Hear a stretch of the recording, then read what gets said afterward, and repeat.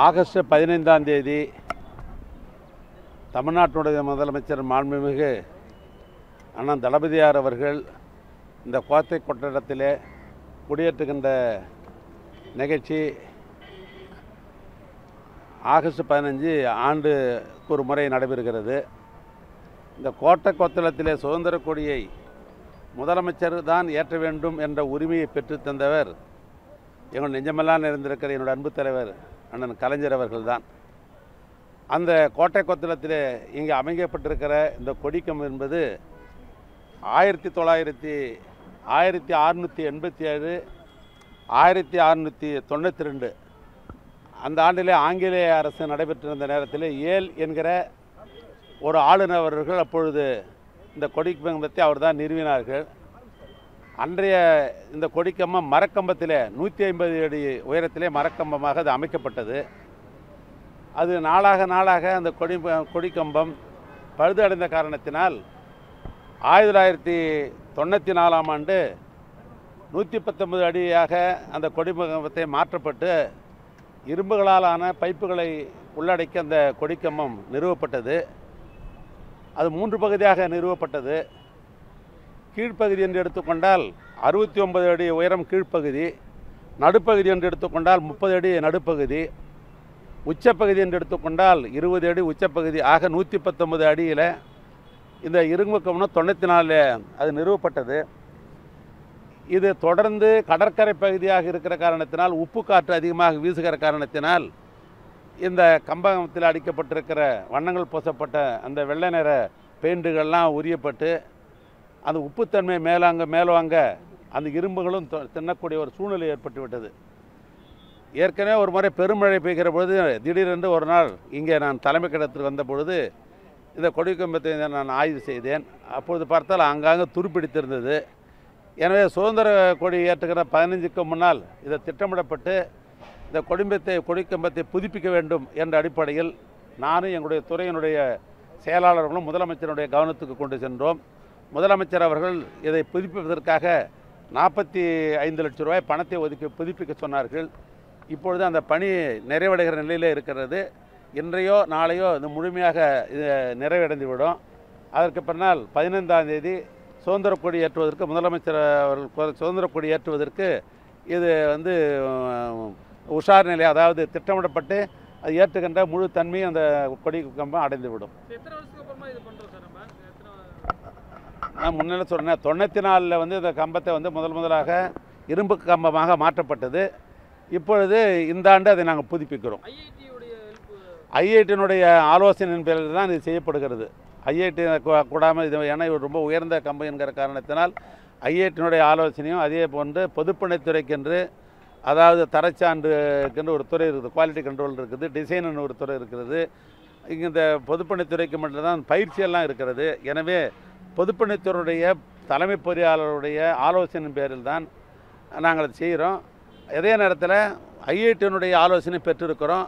ஆனால் பொதுப்பணியை பொறுத்தளவுக்கு சிறப்பாக அந்த கம்பத்தை நாங்கள் நிறுவியிருக்கிறோம். சார் இப்போ இதுக்கு ஒரு லிஃப்ட் வைக்கலாம் ஏன்னா நீங்கள் வந்து ரொம்ப தூரம் ரொம்ப ஹைட்டாக இருக்குது ஏன்னா இப்போ சா சாதாரணமாக ஒரு கம்மியாக இருக்கிற இடத்துல லிஃப்ட் வசதி இருக்கும்போது இங்கே ஒரு பாதுகாப்பாக மேலே வசதியாக இருக்கும்ல. எங்கே இருந்தால் என்னை பொறுத்தளவுக்கு நானும் பல அயல்நாட்டுக்கெல்லாம் சென்றிருக்கிறேன். இந்தியாவிலும் பல மாநிலத்திற்கு செல்லக்கூடிய எனக்கு வாய்ப்பு உண்டு. இது போன்ற தேசிய கொடி ஏற்றுகிற கம்பங்கள் முழுமையாக தெரிகிற அளவுக்கு தான் பொதுமக்களுக்கு இருக்கிறது அதுக்குன்னு லிஃப்ட்லாம் வைக்கிறது கிடையாது. நான் சொல்கிறது வந்து இதுக்காக கிடையாது. இப்போ ஏதோ பணி செய்யும் பொழுது இப்போ நீங்கள் படி வச்சுருக்கீங்க இந்த படியே வந்து குறிப்பாக ஆங்கிள் தான் வச்சுருக்குது. அது படியே வந்து எவ்வளோ தூரம் இல்லை இல்லை இல்லை. இதை விட வந்து உயரமான கட்டடங்களை பொதுப்பணித்துறை நாங்கள் கட்டி கொண்டிருக்கிறோம். அது போன்ற இடங்களில் இது மாதிரி சாரம் போட்டு தான் ஏற்கனவே ஒரு காலத்திலே சவுக்கு சாரம் தான் போட்டு செய்கிற பணிகள் உண்டு. அப்போ நீங்கள் சொல்லினா கூட ஒரு அர்த்தம் இருக்குது. இப்போல்லாம் இரும்பு கம்பிகளால் தான் இந்த சாரத்தை அமைக்கிறோம். இதில் எந்த விதமான ஆபத்து வருவதற்கோ அல்லது தடுமாற்றம் ஏற்படுவதற்கு வாய்ப்பில்லை. உறுதித்தன்மையோடு தான் இருக்கிறது. ஆனால் இதுக்கு லிஃப்ட் தேவை என்பது அவசியம் தேவையில்லை.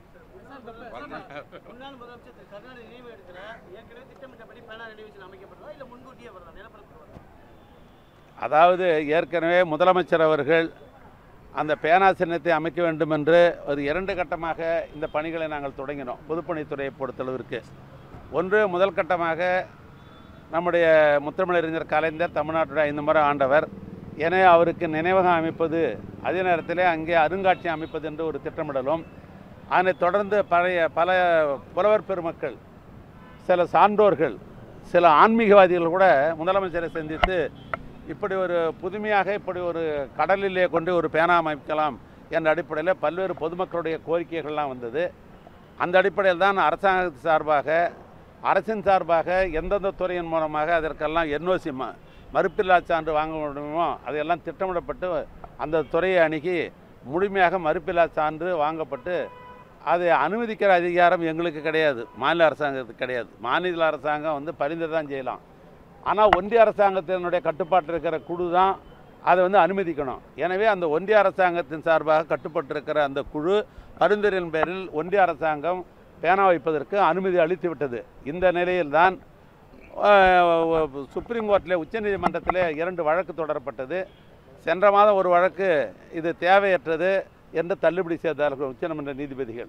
நேற்றைய தினம் சென்ற வழக்கை ஒட்டியே தான் நேற்றைய தினம் வழக்கம் வந்தது. அதிலையும் உச்சநீதிமன்ற நீதிபதிகள் ஏற்கனவே ஒன்றிய அரசாங்கம் அனுமதியோடு தான் இந்த பணியை அவங்க தொடங்க இருக்கிறார்கள். ஏன்னா இதனால் எந்தவித பொதுமக்களுக்கும் எந்தவித அச- அசௌகரியம்லாம் எதுவும் கிடையாது.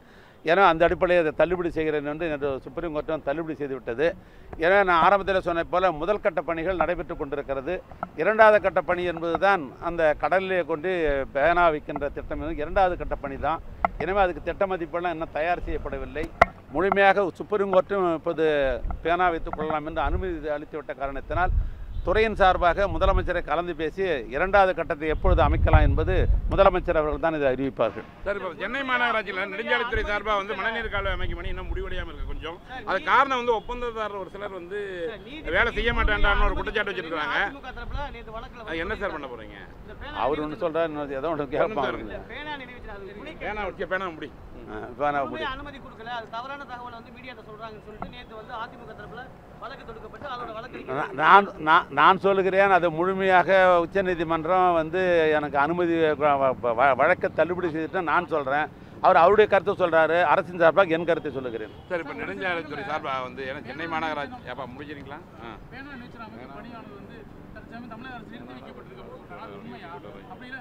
இப்போ தான் தெளிவாக சொன்னேன். அதாவது மாநில அரசாங்கத்திற்கு சம்பந்தப்பட்ட பல்வேறு துறையின் சார்பாக மறுப்பில்லா சான்றெல்லாம் பெறப்பட்டு மாநில அரசாங்கத்தினுடைய குழு பரிந்துரை செய்யப்பட்டு ஒன்றிய அரசாங்கத்திற்கு போய் ஒன்றிய அரசாங்கத்தில் ஒரு குழு இருக்கிறது. அதை கடல்சார் சம்பந்தப்பட்ட குழு அந்த குழு.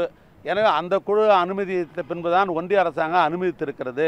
அரசை பொறுத்தளவுக்கு ஒன்றிய அரசாங்கம் அனுமதித்து விட்டது மாநில அரசாங்கம் அனுமதித்து விட்டது ஆனால் ஒரு தனியார் த வந்து உச்சநீதிமன்றத்தில் வழக்கு தொடுத்த காரணத்தில் அந்த வழக்கு நேற்று தள்ளுபடி செய்யப்பட்டிருக்கிறது. ஆனால் முழுமையாக எந்த நேரத்திலாம் போய் ஆரம்பிக்கலாம். இந்த முதல் கட்ட பணிகள் இன்னும் நடைபெற்று கொண்டிருக்கிறது. முதல் கட்ட பணி முடிந்த உடனே தான் இரண்டாவது கட்ட பணிக்கு முதலமைச்சருடைய அனுமதியை பெறுவோம். அனுமதி அந்த பின்பு அது அமைக்கப்படும் சார் இப்போ ஜன் ஜன் பேனா முடிக்க முடியும் சதவீதம் எவ்வளவு முடிச்சிருக்கு எவ்வளவு சார்? முதல் கட்ட பணி என்பது ஏறத்தாழ தொண்ணூறு சதவீத பணிகள் நடைபெற்றிருக்கிறது. இன்னும் பத்து சதவீத பணிகள் என்பது எந்த நிலையில் என்று சொன்னால் அது மியூசியம் அருங்காட்சியகம். எனவே அந்த அருங்காட்சியக பணிகள் நடைபெற்றிருக்கிறது.